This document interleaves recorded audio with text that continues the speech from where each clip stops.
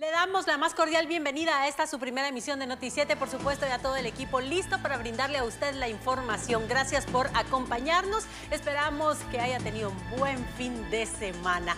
Vamos ahora a saludar a mi queridísimo Axel Cardona. ¿Cómo estás, Axel? Buenos días.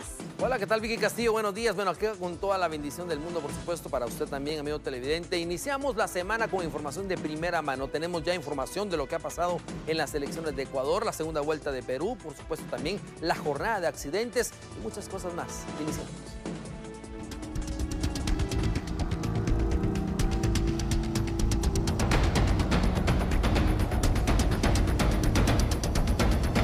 Bueno, y hablemos de capturas durante el fin de semana, ya que en operativos para el cumplimiento de la ley seca, en la zona 11 se logró la captura de 31 hombres y 27 mujeres. Ambos grupos fueron trasladados a Torre de Tribunales.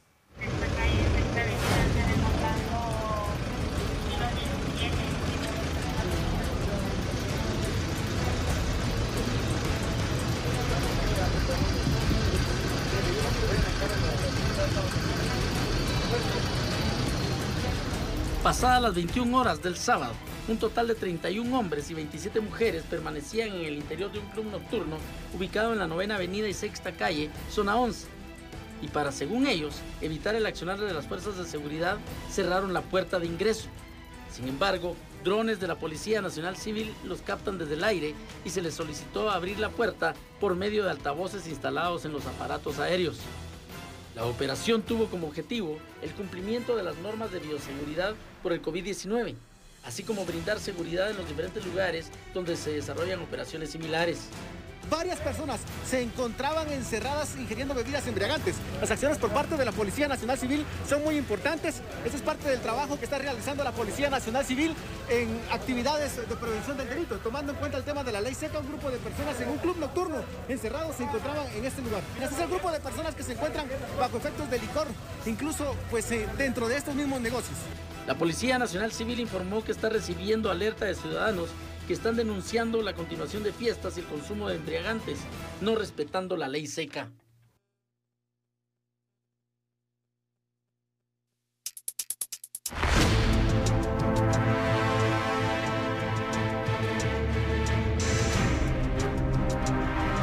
Es que si la noticia anterior le impactó, vea los detalles, los resultados de este megaoperativo multisectorial que dejó 167 capturados por violar la ley seca. Uno de los 31 hombres consignados por estar ingiriendo licor en un club nocturno ubicado en la novena avenida 5-60 de la zona 11, justo cuando la Policía Nacional Civil realizaba el procedimiento, presentó una certificación del IX, donde señala que es positivo para COVID-19. Esta persona se encontraba encerrada junto a 30 hombres y 27 mujeres a las que será necesario, además de la consignación, realizarles las pruebas necesarias y cuarentena en cumplimiento de las normas de bioseguridad definidas por el Ministerio de Salud. Asimismo, se destacó una ambulancia de la Policía Nacional Civil a la torre de tribunales, donde estaba la persona que fue detenida durante la operación para cumplimiento de normas de bioseguridad y que compartía con 57 personas más.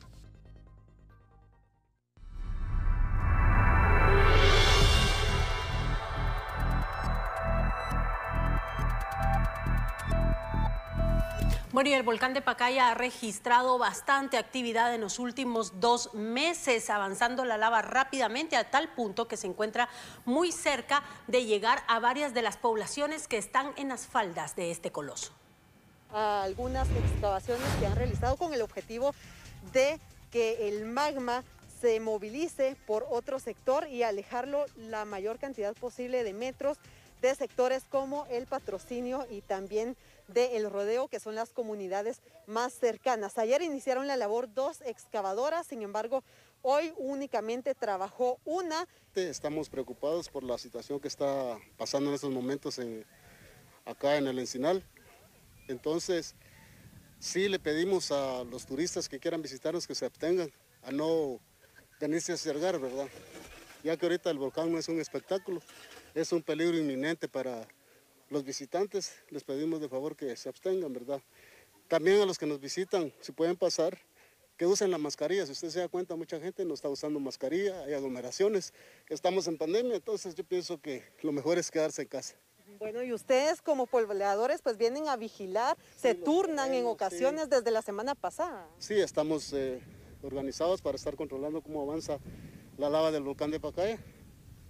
Estamos controlando esto porque la verdad que está consumiendo bastante tierra, que son potreros, ¿verdad? Pero que sí nos puede afectar en cualquier momento. Las autoridades han indicado el cierre del Parque Nacional Volcán de Pacaya. Sin embargo, en este punto vemos una gran cantidad de personas, como bien mencionaba el vecino, en algunos momentos se notan ciertas aglomeraciones, muchos no tienen mascarilla y también es el llamado que se les hace a que por favor no vengan a este punto porque en cualquier momento podría registrarse un punto de incremento en la actividad de este coloso. Así que es parte de las imágenes que tenemos desde este lugar, desde el Encinal en el patrocinio San Vicente Pacayas.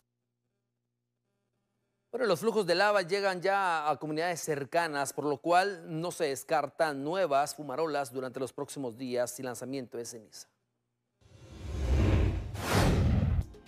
Se mantiene la observación aérea al avance del flujo de lava y las condiciones en la fisura en el flanco suroeste, acción que realiza personal de la Secretaría Ejecutiva de la CONRED. El flujo de lava tiene 3.500 metros de longitud total, de acuerdo con el INSIBUME. Mayor actividad del flujo de lava en las fincas La Breña y Campo Alegre. Y al sur se espera que el flujo de lava sobrepase la ruta que comunica de San José el rodeo a Los Positos, ruta de San Vicente Pacaya a Villa Canales. No se descartan nuevos flujos de lava o columnas eruptivas mayores en los próximos días ante la actividad que se mantiene alta en el volcán de Pacaya. Como se puede observar en la pantalla, de esta fisura alimenta el flujo de lava que avanza al suroeste, el Patrocinio y San José el Rodeo.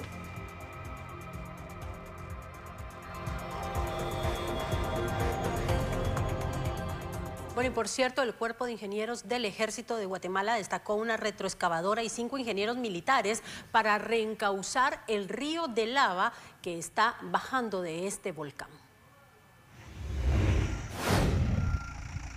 En la comunidad del patrocinio, donde el cuerpo de ingenieros ha destacado una retroexcavadora y cinco ingenieros militares para colaborar en los trabajos que buscan reencauzar el río de lava que desciende del volcán de Pacaya y que pone en peligro aproximadamente 500 familias de esta comunidad.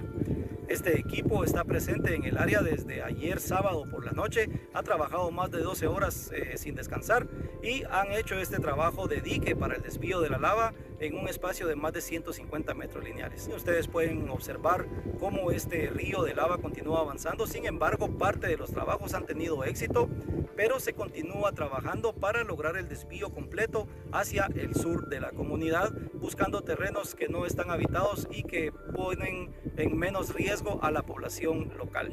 Se hace la invitación a todos los pobladores a que por favor sigan instrucciones de la CONRED de su respectiva coordinadora local que estén preparados para efectuar evacuaciones si es que estas fueran ordenadas. El ejército de Guatemala ya ha estado haciendo monitoreos en el lugar a través de sus equipos tácticos de asistencia humanitaria y de rescate y estará auxiliando definitivamente a la Conred en caso sea necesario. Don Henry Giovanni Samayoa, vecino de la aldea El Patrocinio, manifestó que este apoyo para reencauzar el río de lava del volcán Pacaya evita el peligro para cientos de comunitarios. Hemos logrado encauzar la, lava hacia sobre la lava anterior, que ese es el, propósito, evitar que siga, que siga corriendo a la par.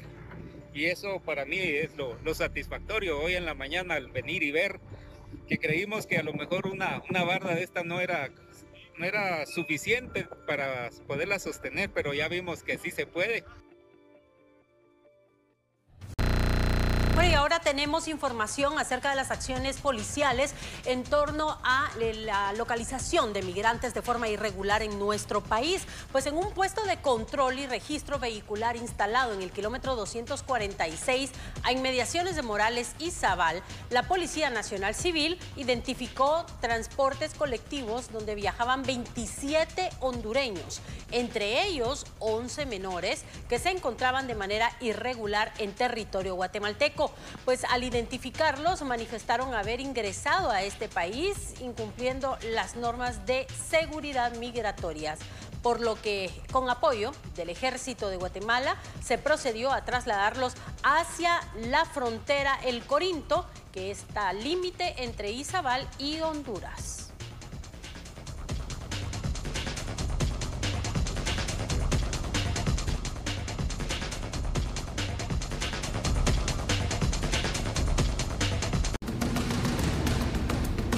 Bueno, tal como le informábamos antes de irnos a la pausa comercial, hay disposiciones y presten mucha atención para Suchitepeques. Ya Carlos Rodas nos traslada todos los detalles a continuación. Le damos a conocer que estas son las medidas que se tomarán a partir de hoy para la contención del COVID-19.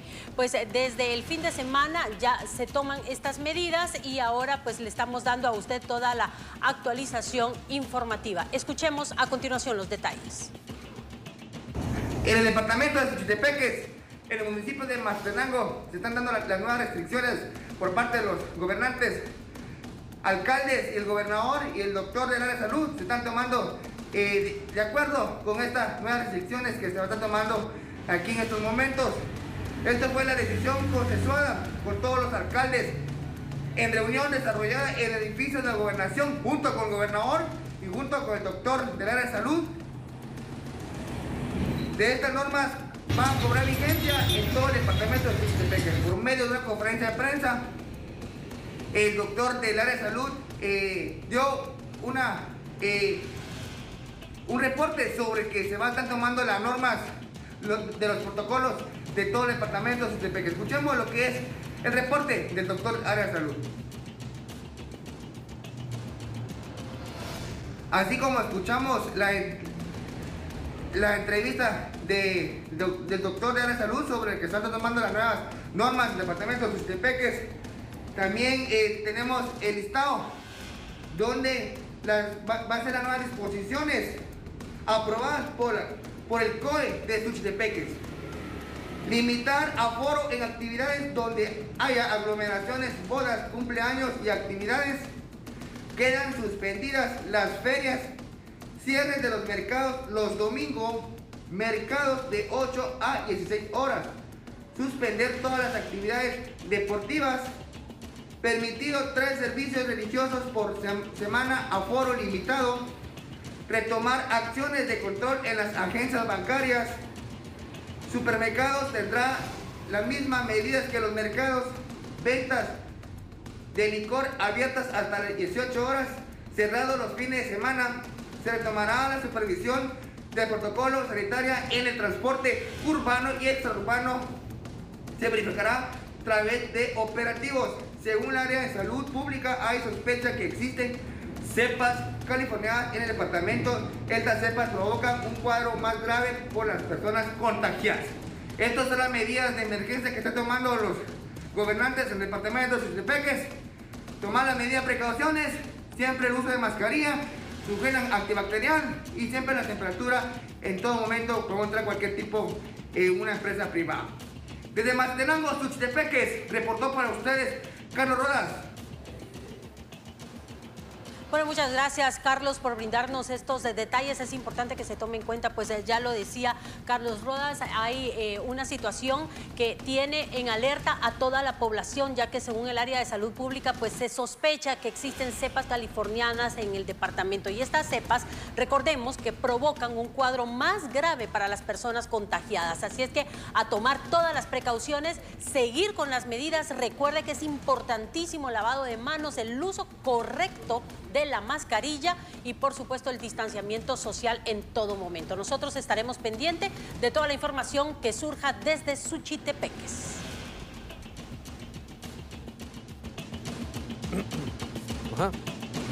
Bueno, y ahora vamos a pasar a otro tema completamente y hablemos de investigaciones en Atitlán. Ya eh, pues se ha realizado una serie de investigaciones por parte del Ministerio Público eh, de la Fiscalía de Delitos contra el Ambiente y es por el incendio en las faldas del volcán Atitlán. En este momento vamos a conocer detalles gracias a nuestro corresponsal Enrique Pablo. El Ministerio Público, por medio de la Fiscalía de Delitos contra el Ambiente, en seguimiento a la investigación por el incendio en las faldas del volcán Atitlán y parte norte del departamento de Suchitepeques, finalizó las diligencias de exploración correspondientes para determinar especies y efectos provocados por el mismo. Nos explica el director de CONAP, ingeniero Eliazar Peralta.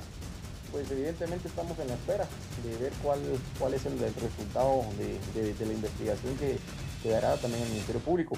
Pues como CONAP estamos ya haciendo el recuento, como es un área bastante grande, pero aproximadamente podríamos decir que es una afectación casi de, las 650 a las 700 hectáreas. Pues casi rompemos, digamos, con, con, el récord, si lo vemos así, de lo que ha afectado eh, en una temporada total los incendios forestales acá en la cuenca del agua de Titlán. Las diligencias se realizaron en acompañamiento del Consejo Nacional de Áreas Protegidas, CONAP, Instituto Nacional de Bosques, INAV, técnicos de la Dirección de Investigación Criminalística del Ministerio Público, DICRI, la División de Protección a la Naturaleza DIPRONA y bomberos voluntarios, donde se estableció la afectación del incendio rastrero por quema de material orgánico a nivel del suelo. Era un bosque silvestre con especie liso, pino y encino. De este caso nos explica el fiscal del Ministerio Público de Santiago Titlán, Cornelio Sicay. Nosotros realizamos algunas diligencias preliminares como eh, las inspecciones en el campo. Se documentaron, por ejemplo, tambos eh, con gasolina, podríamos decirle, ¿verdad? Que esto ya se fue a laboratorio para determinar si son eh, inflamables, ¿verdad? Este caso ya fue trasladado a la Fiscalía de Medio Ambiente de Guatemala, quien ya en estos momentos pues ya está realizando las investigaciones correspondientes por ser un tema ambiental también se logró marcar los puntos rojos proporcionados por el Departamento Geoespacial de CONAP. Se logró investigar y documentar el lugar del hecho. Desde el Departamento de Sorola reporta Enrique Pablo de León.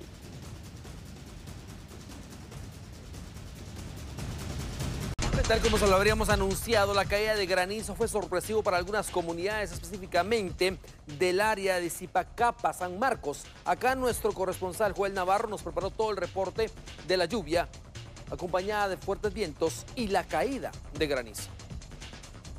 Fuerte granizo da comienzo al invierno. Esto se da en diferentes municipios del altiplano, principalmente Zipacapa, San Marcos. Esta tarde, como anunciado el inicio del invierno, Cae fuerte granizo en el altiplano, principalmente en Zipacapa, San Marcos, también en las partes altas de San Miguel, Ixtahuacán y Tejutla. Últimamente ha hecho mucho calor en el altiplano de San Marcos y los vecinos estaban preocupados por la lluvia que no había caído, ya que la siembra de la milpa se ha realizado y está germinando en la tierra. Se puede ver a niños, jóvenes y personas de la tercera edad viendo la caída de granizo que se ve ya entrando la noche. Espectacular son los truenos acompañados de relámpagos. Esto es en el crucero de San Isidro que va a las aldeas de Pueblo Viejo, Chubá y Poj del municipio de Zipacapa, San Marcos. Se pide a los pilotos de diferentes unidades de transportes tomar sus debidas precauciones a efecto de que el asfalto tiene demasiado granizo, esto puede derrapar las llantas de los vehículos y pueda suceder un percance, indicaron vecinos de dicha aldea. Con imágenes de Omar Pérez, reportó en San Marcos Joel Navarro.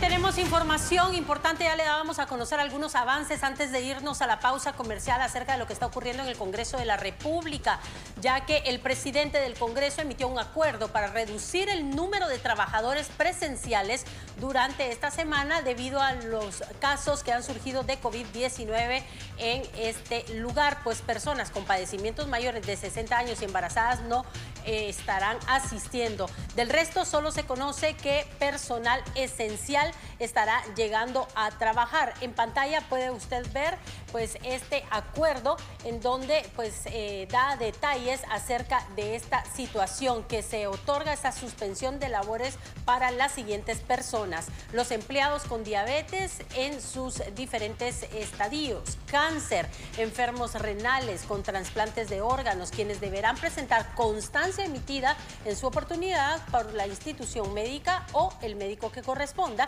y que certifique que dicho empleado padece la enfermedad.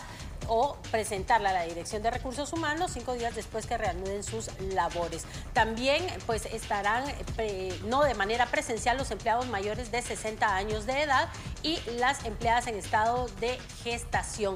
Esto es con la finalidad de no suspender las actividades legislativas, pues los diputados y diputadas designarán a los empleados a su cargo el personal necesario e indispensable para la ejecución de actividades y así garantizar el funcionamiento de las actividades parlamentarias, debiendo informar a la Dirección de Recursos Humanos la eh, programación que se realice. Y para estos efectos de marcaje en el sistema biométrico, quedando bajo responsabilidad la presencia de dicho eh, pues en este caso personal. Pues es importante que se tomen en cuenta estas acciones porque definitivamente sí se estarán continuando con todos los trabajos dentro del hemiciclo parlamentario, de todas las programaciones que se tienen, pero eso sí, con menor cantidad presencial de empleados del Congreso de la República, derivado del mayor contagio de COVID-19 en varios de los trabajadores.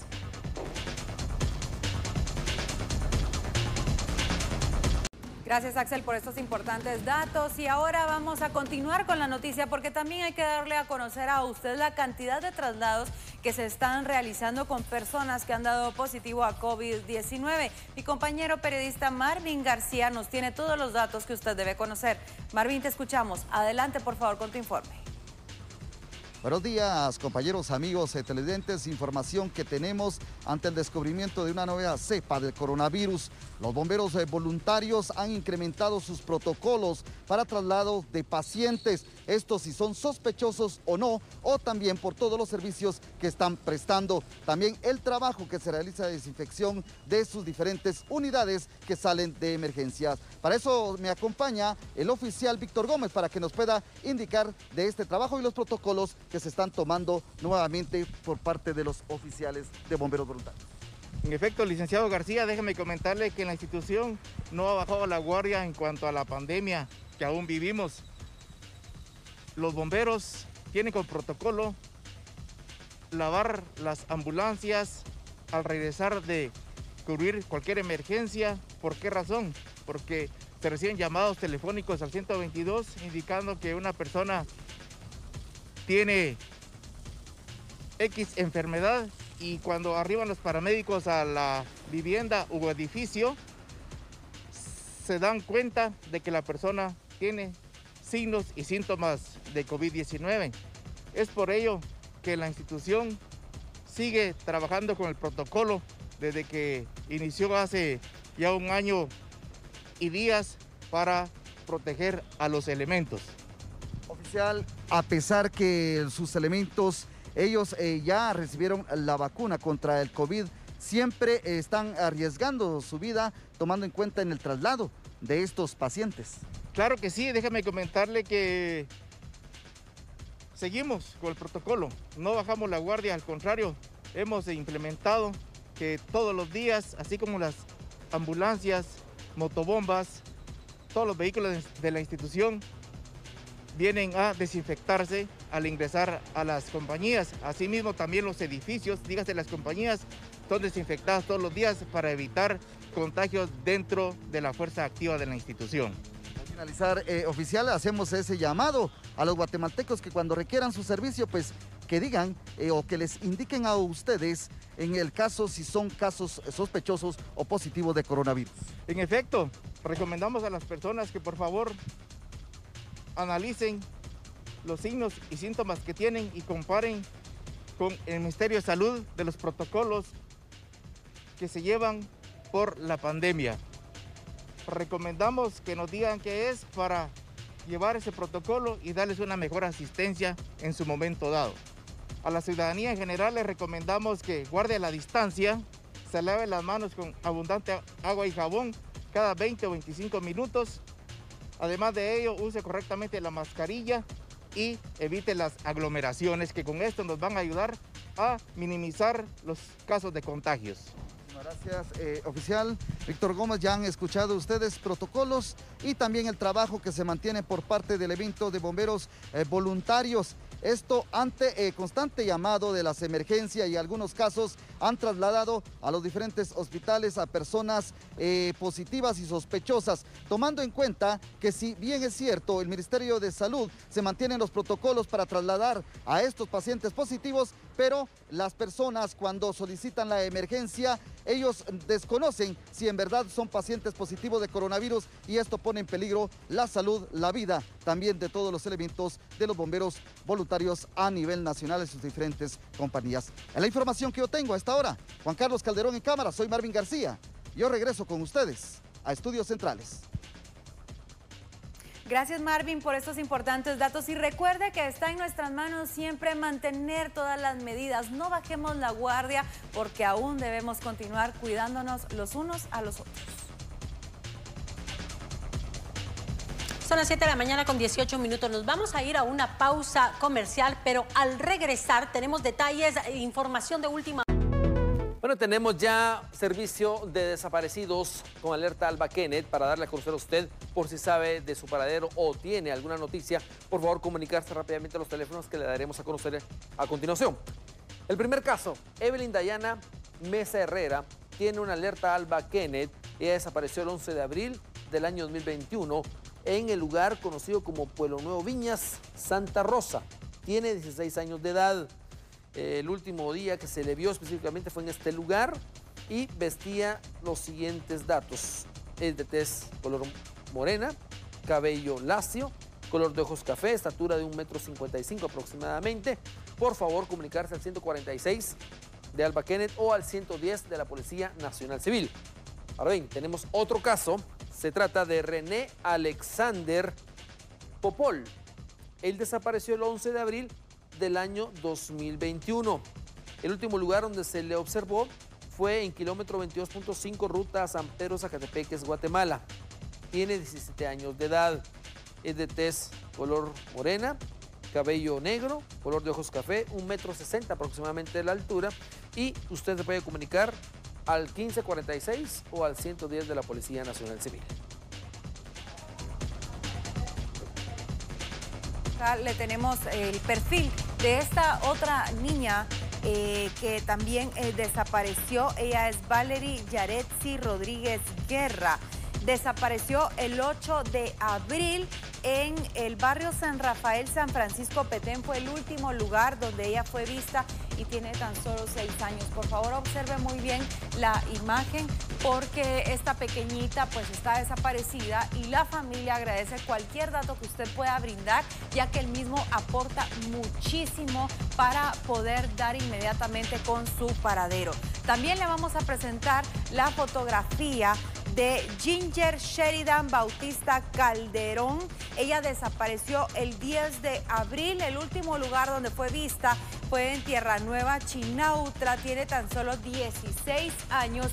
Yo le pido por favor que usted observe muy bien las imágenes que le presentamos a lo largo de estas alertas para que de esta manera usted pueda guiarse también por eh, la apariencia física y así poder llamar inmediatamente a las autoridades si usted observa en donde usted se encuentra pues a alguna de las personas, los perfiles que le estamos presentando a lo largo de este servicio social que le presentamos a la población guatemalteca a través de Noticiero. Y también tenemos otros casos que queremos compartir con ustedes tal como lo puede observar. En, al parecer, los casos que le damos a conocer a continuación son hermanas.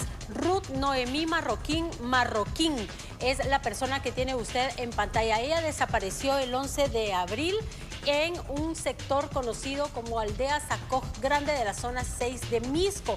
Tiene 14 años de edad, es delgada y eh, de color blanco su, su piel, cabello lacio castaño, color de ojos es café claro. Y el día que desapareció vestía blusa blanca, licra negra y tenis blancos. Por favor, mire bien esa fotografía. Es Ruth Noemí Marroquín, marroquín de 14 años de edad. Y le vamos a presentar también otra fotografía. En este caso, estamos hablando de la hermana. La hermana de Ruth es Sara Elizabeth Marroquín Marroquín. Desapareció el mismo día, 11 de abril, en el mismo lugar, aldea Sacoj Grande, zona 6 de Misco, pero eh, en este caso Sara Elizabeth tiene 15 años de edad. Pues eh, vestía pants de color gris y tenis blancos. Ella tiene el cabello eh, crespo, cafés oscuros son sus ojos y es de color de la piel morena clara. Tal como usted lo puede ver, son dos hermanas que desaparecieron en este sector de la zona 6. Rápidamente con otra alerta albaquene, se trata específicamente de Carlos Manuel Barrera Mota. Desapareció el 10 de abril de este año en la zona 5 de Villanueva, Guatemala. Tiene 17 años de edad. Cualquier información puede comunicarse al 1547 de Albaquenet o al 110 de la Policía Nacional Civil. También tenemos otra alerta Albaquenet, específicamente de Lindsay Paola Ortiz Martínez. Ella desapareció el 12 de abril en San Pedro de Ampú, Guatemala. Tiene 12 años de edad por favor comuníquese al 1546 o al 110 de la Policía Nacional Civil. Recuerde, son alerta Alba Kenneth, que usted, si sabe de algo, por favor, es fundamental y importante. Vamos a la pausa. Volvemos.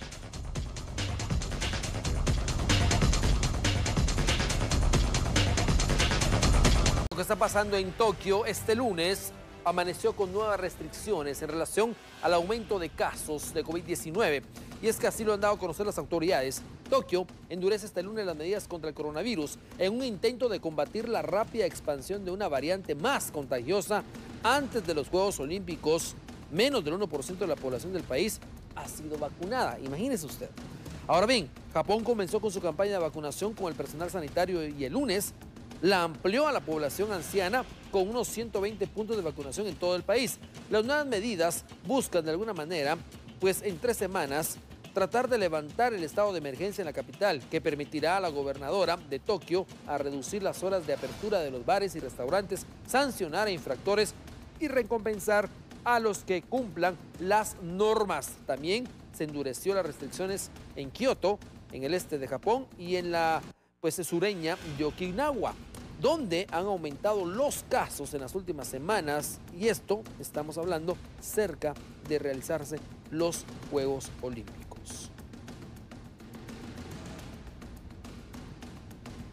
Ahora bien, vamos a hablar de un caso que ha sido sorprendente en el mundo. Observe, estamos hablando de una doctora que estaba embarazada, murió de COVID-19, pero los médicos logran salvar a su bebé. Es una información tan impactante y es que Brasil es uno de los países más afectados de la pandemia y dentro de lo complicado del panorama se ha dado a conocer historias sorprendentes como esta, la de una doctora embarazada que perdió la vida COVID-19, pero un equipo médico logró salvarle la vida a su bebé. Estamos hablando de una doctora de 38 años que falleció en la ciudad de Bará de Garcas, de Brasil, pasado 6 de abril. Esto después de enfermarse de coronavirus durante el fin de semana previo. Cuando contrajo la enfermedad, la doctora tenía 8 meses de embarazo el cual se complicó con el paso de los días. De acuerdo a amigos, específicamente, ella comenzó a tener síntomas como tos durante el fin de semana, pero el lunes 5 de abril tuvo que ser internada en el hospital debido al rápido deterioro de su salud, lugar donde los médicos decidieron entubarla, aunque el procedimiento sufrió prácticamente un paro cardíaco lograron salvarle la vida a su bebé.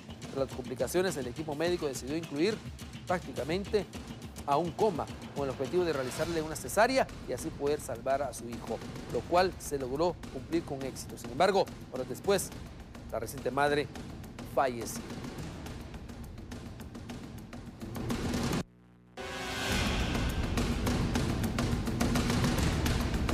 Nos han informado, vienen días calurosos, pero es Mabel Saucedo quien se encuentra en el Incibume con información de cómo estarán las condiciones climáticas para esta semana. Mabel, muy buenos días, adelante con tu reporte.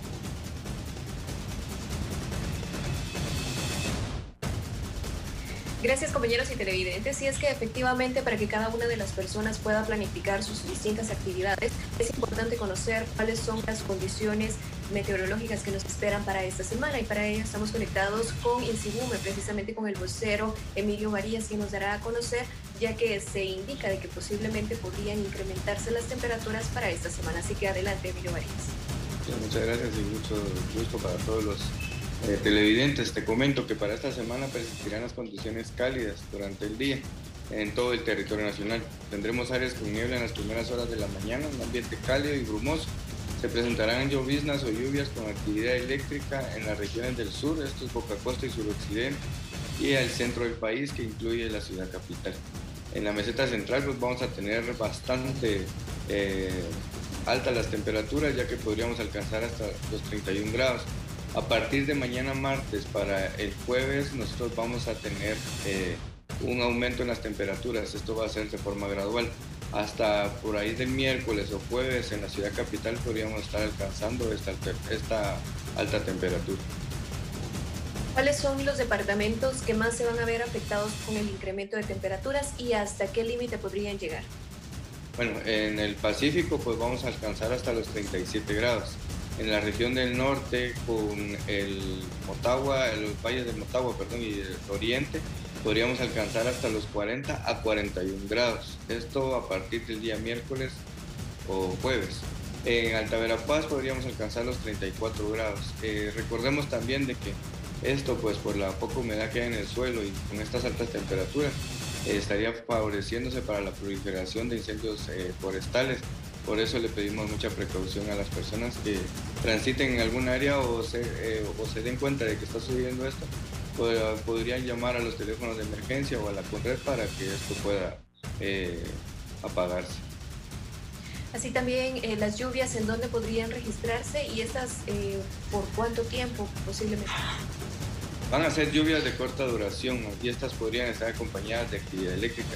Esto principalmente en la costa sur, en la parte sur de San Marcos, Ixtepeque, Retaluleu, Escuintla, y también en la ciudad capital, principalmente en la parte sur de la ciudad capital. Le agradecemos a Emilio Varías por el detalle de la información. Ya lo conoce amigo televidente, también es importante que lo conozca para eh, planificar cada una de las actividades y sobre todo también alertar a los cuerpos de socorro si en algún momento eh, observan algún tipo de incendio forestal. Es la información que tenemos. Retornamos con ustedes. Bueno, muchas gracias a Mabel Saucedo por brindarnos esta información. Así es que a tomarlo muy en cuenta a partir de mañana, pues más calorcito, los días calurosos que tuviéramos eh, pues anteriormente, que no fue así. Muchos decían que parecía diciembre y no Semana Santa. Pero bueno, nosotros pues estamos ya brindando la información. Hay que tomar mucho en cuenta que hay que estar bien hidratados. Esto es importantísimo y por supuesto utilizar eh, cremas bloqueadoras para evitar pues complicaciones que se puedan dar en este caso por el calor. Así es que mucha atención, por supuesto que estamos nosotros eh, brindándole a usted toda la información que se traslada por parte del INSIBUME, por parte de las autoridades, para que usted esté bien enterado.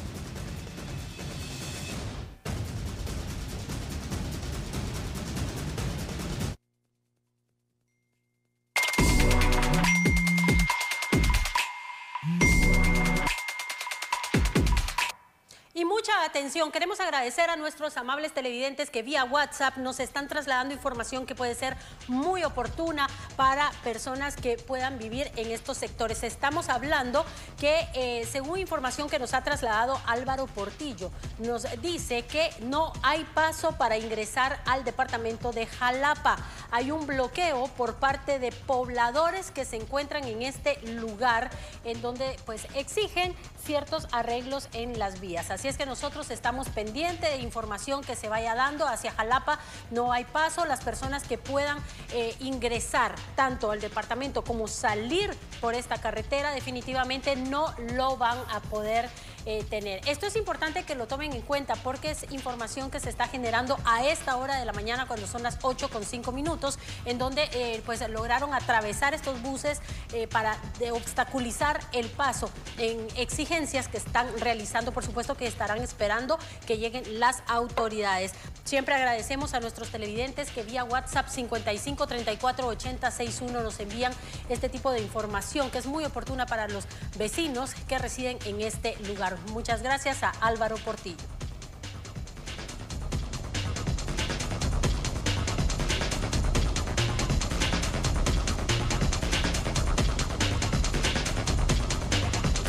Bueno, vamos a retomar el tema de la lava del volcán de Pacaya que sigue extendiéndose a comunidades como el patrocinio y otros sectores más de San Vicente Pacaya.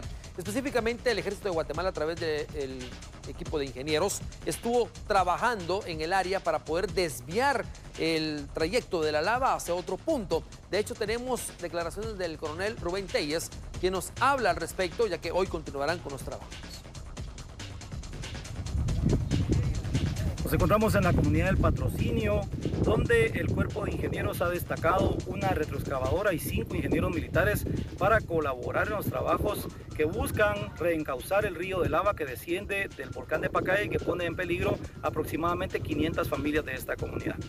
Este equipo está presente en el área desde ayer sábado por la noche, ha trabajado más de 12 horas eh, sin descansar y han hecho este trabajo de dique para el desvío de la lava en un espacio de más de 150 metros lineales. Eh, detrás de mí ustedes pueden observar cómo este río de lava continúa avanzando, sin embargo parte de los trabajos han tenido éxito, pero se continúa trabajando para lograr el desvío completo hacia el sur de la comunidad, buscando terrenos que no están habitados y que ponen en menos riesgo a la población local. Se hace la invitación a todos los pobladores a que por favor sigan instrucciones de la CONRED, de su respectiva coordinadora local, que estén preparados para efectuar evacuaciones si es que fueran ordenadas. El ejército de Guatemala ya ha estado haciendo monitoreos en el lugar a través de sus equipos tácticos de asistencia humanitaria y de rescate y estará auxiliando definitivamente a la CONRED en caso sea necesario. Este apoyo es una de las demostraciones del uso de las capacidades del ejército de Guatemala en beneficio de la población. Por favor, manténgase seguro, manténgase informado. En parte de las declaraciones que daba ayer en horas de la tarde el coronel Rubén Telles, específicamente hablando de los 175 metros lineales de barda que se han realizado por parte del Cuerpo de Ingenieros del Ejército de Guatemala en relación al apoyo para desviar el flujo de lava que sigue creciendo y sigue llegando ya, acercándose a comunidades eh, pues ya habitadas, por ejemplo, como el patrocinio y también áreas de San Vicente Pacaya. Estas actividades continuarán hoy específicamente para poder seguir dándole el seguimiento oportuno. Vamos a la pausa. Ya regresamos. Noticia de impacto a nivel internacional asociada con la tecnología y los grandes avances científicos. Mire usted, vamos a conocer lo que se está viviendo en China porque crean una tela electrónica que convierte la ropa en pantallas. Así como usted lo escucha, las pantallas ya están en todas partes, se podría decir, pero la ciencia nos demuestra que podemos tenerlas en otro sitio y en este caso es en las telas.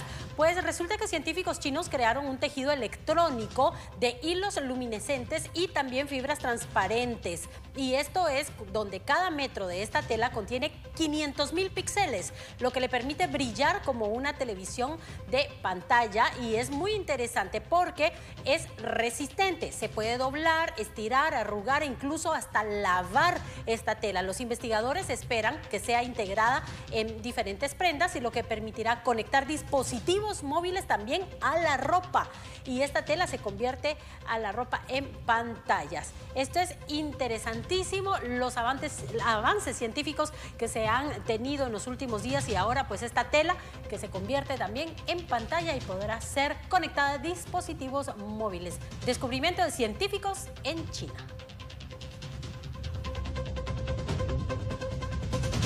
Bueno, le vamos a mostrar ahora imágenes en tiempo real del volcán de Pacaya, la actividad que sigue siendo monitoreada por parte de la Conred y también el Insibume. Hay que pues, establecer también que el pasado fin de semana estuvo bastante activo la lava descendiendo en las faldas del Coloso. Ahora acá está la fumarola tal y como se habría pronosticado. El lanzamiento de ceniza en comunidades cercanas. Ojo con esto, porque está siendo monitoreado, pero ya se había pronosticado por parte de las entidades de que existiría la posibilidad de caer ceniza este lunes en diferentes áreas. Podría estar llegando a Patrocinio, San Vicente Pacaya, El Rodeo, también en Villanueva, Villa Canales, sectores cercanos. Ojo con el detalle porque se mantiene creciendo la fumarola a unos 3.000 a 4.000 metros de altura sobre el nivel del mar, según lo establecido por la Conred. Este es un video en tiempo real. Hace un par de segundos, esto es lo que se observa específicamente para que usted tome idea de lo que está ocurriendo en este momento en el Coloso del Pacaya, que no quiere descansar. Esto es prácticamente en tiempo real. Escuche, esto es lo que está aconteciendo ahora en el volcán de Pacaya. Si usted viene de Escuintla, si usted viene de Villanueva, podrá observar este espectáculo. Si usted vive por el rodeo, San Vicente Pacaya, el patrocinio, podrá observar esto. Lejos del acercamiento de la lava a comunidades, ahora empieza a activarse con el lanzamiento de ceniza, por lo cual está llegando a una altura de 3.000 a 4.000 metros sobre el nivel del mar. Esto podría irse incrementando en los próximos minutos, así que usted atento a las entidades oficiales, con Red e ICIBUME. Esto es en tiempo real. Ahora nos vamos a ir directamente a Totonicapán, en donde mototaxistas ya están tomando las medidas necesarias para así resguardar a sus tripulantes ante la situación de COVID-19. Leopoldo Vaz nos informa.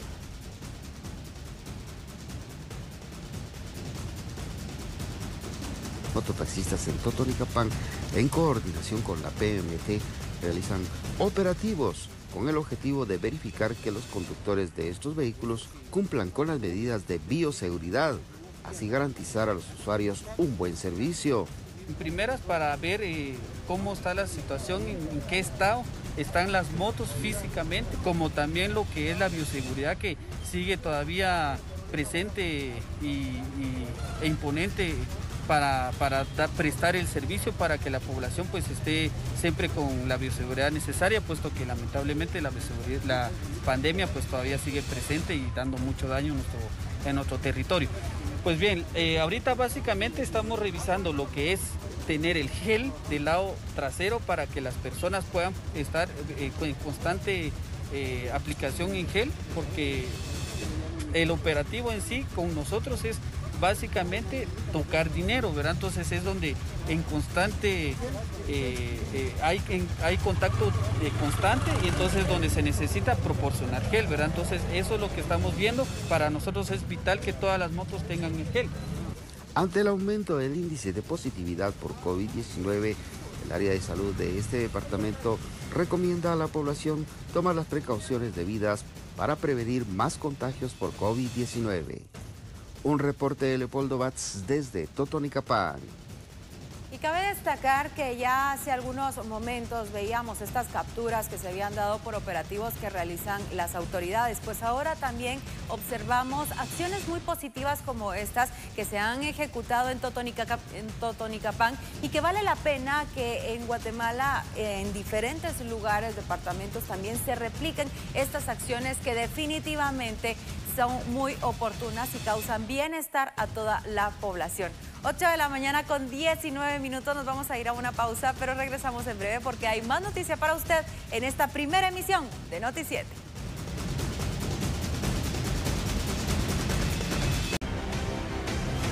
Bueno, entramos eh, rápidamente para dar a conocer una actualización de lo que está ocurriendo en el oriente del país, específicamente en Jalapa. Vemos ya largas filas de vehículos que sigue afectando seriamente el ingreso y la salida específicamente de este sector del oriente del país, Jalapa. Esto es con dirección hacia Sanarate y de Sanarate hacia la cabecera departamental de Jalapa. Estamos hablando de largas filas de vehículos por un bloqueo que se está realizando desde horas de la mañana sin previo aviso. Según los jalapanecos, esto está afectando la economía, está afectando el ingreso de insumos médicos, de medicinas, de agricultura, de exportación de granos y también de actividades comerciales por parte de los pobladores de Jalapa. Indican lo siguiente, no se puede ingresar ni tampoco salir de la cabecera departamental. Esto es a la altura del área de Portrero Carrillo, es decir, con dirección específicamente hacia Sanarate. Y si usted viene de Sanarate pasando por Sansare, ingresando a Potrero Carrillo, está bloqueado, es decir, no puede ingresar ni salir de la cabecera departamental, por lo cual están exigiendo el hablar con las autoridades para desbloquear el paso. Aparentemente es por el arreglo de la carretera, pero vea, mira esta larga fila de vehículos que ya llega hacia la calle principal de la cabecera departamental con dirección hacia el Parque Central y Mercado Central. No se puede ingresar, no se puede salir. Vías alternas usted puede tomar específicamente por San Pedro Pinula Jalapa hacia Jutiapa o bien ingresar por Mataquescuintla y dar esa gran vuelta para poder ingresar hacia la ruta que lo lleve a la ciudad capital. O bien, si usted viene de Sanarate, pues tendrá que redoblar prácticamente, ingresar por otro punto, ya que el ingreso por esta principal ruta, que es la más utilizada para actividades comerciales, está bloqueada. Lleva ya aproximadamente una hora con 45 minutos y esto, lejos de verse que se vaya a solucionar, dicen los pobladores, va para largo.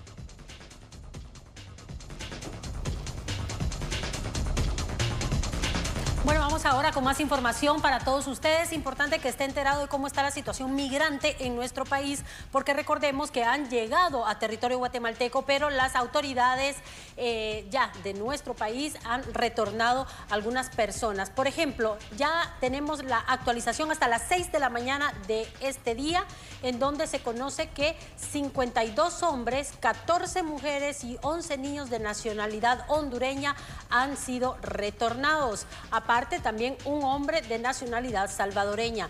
Eh, también tenemos información que 11 hombres, 6 mujeres, 14 niños hondureños fueron retornados eh, las últimas horas y 105, en este caso estamos hablando de hombres, tres mujeres, nueve mujeres y cuatro niños también de nacionalidad hondureña. Pero mexicanos también hay porque hay siete hombres y tres mujeres. En total tenemos 237 personas que han sido retornados ya en territorio guatemalteco que han llegado a nuestro país de manera irregular. Se hace el llamado para que no migren de manera irregular y eviten así problemas en nuestro territorio y en cualquier otro territorio hacia el norte.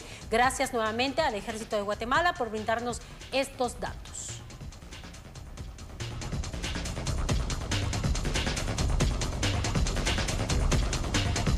Bueno, de esta manera hemos llegado al final de esta emisión de noticias. Como siempre, agradeciéndole la sintonía a partir de las 5.45 de la mañana y, por supuesto, la ampliación de estos temas a las 13 horas. Así es, queremos recordarle que está a su disposición el 55 34 es el WhatsApp de Noti7 y nuestras redes sociales arroba Noti7 Guatemala, en donde usted podrá encontrar no solo información, sino también podemos interactuar de manera directa.